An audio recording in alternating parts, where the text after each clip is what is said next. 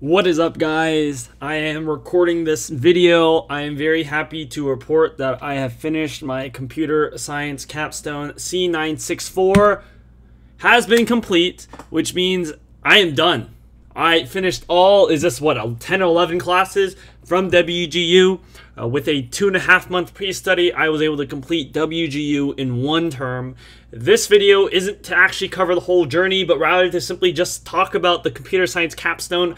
I'll be making more videos in the future about the whole journey, more so about the individual classes as, as I go out and about and I reflect on the classes and whatnot, but I'm happy to report that I am officially done with WGU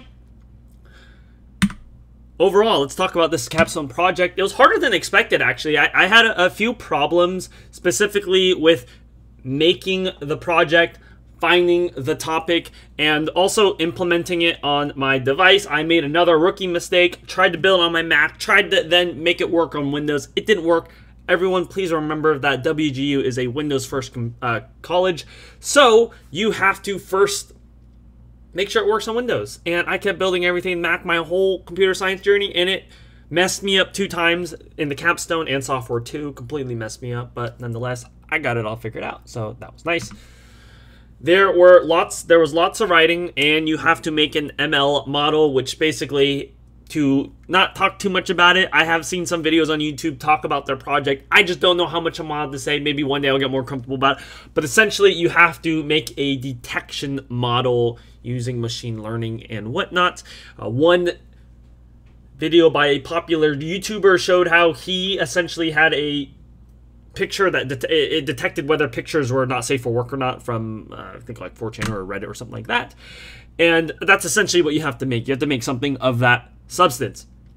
Uh, as you can see here, I was able to finish the. I was able to do it in about a couple weeks. I probably started this on you know July, uh, you know, middle of June, and then it took me about two weeks to do it. There's two portions to it. There's the writing portion, and then there's the code portion, and you have to essentially do both. And I'll just give you my tips right here. You have to literally just choose a topic and start Googling how to build that. So, what I would recommend, you're going to set yourself up to make your life marginally easier if you build something that already exists. Don't try to make a new ChatGPT. Don't try to detect whether an earthquake is coming. And don't try to detect, you know, build these crazy things. Try to detect whether your family member will come back angry or sad that day. Don't try to make something like that.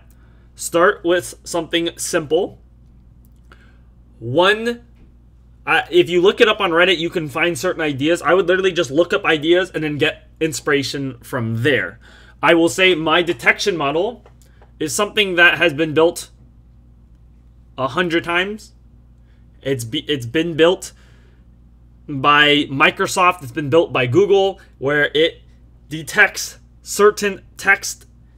I'll just say I'll, I'll keep it vague. It, it determines whether certain text is safe or not and that's all all it does. It's it's super simple. I saw other people trying to make it it will take a book title and it'll it'll put what genre it's in and it, it, that's essentially what it does so you just want to do little things like that you could probably think of a number of other ideas uh, but like i said you want to detect whether you want sorry you, you you want to build something that already exists the reason is if you get stuck you can get inspiration. You you don't have to get stopped. I'm not saying to copy other people's projects, but when some someone has already built out the the hundred million dollar version of it, when you're trying to build the dollar version of it, at least you have some place to look. You're not like you can't really copy the hundred million dollar version, but you can cop you can make a one dollar version of that, and that's essentially what you need to do.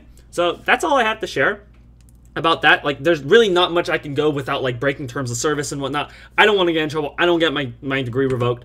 But after this, I'm gonna make a videos on a couple classes that I didn't really make full videos on. The Python class or the data structure algorithms class, Belief Software 2.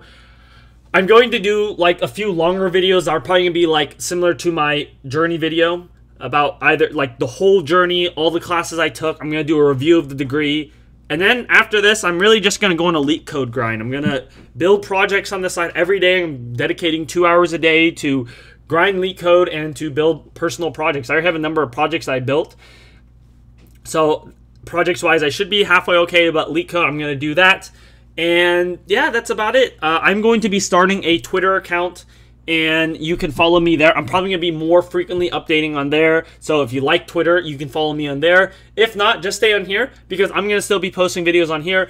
Not as frequently, but I certainly will be making videos. So if you want to stay tuned for my journey about how I'm going to become a full-fledged software engineer at ideally a big tech company, I will I'm going to be documenting this journey and I will ship and after this I'm going to be talking about more so my future plans after I become a software engineer and whatnot and whatnot. So thank you so much for watching and I will see you in the next video.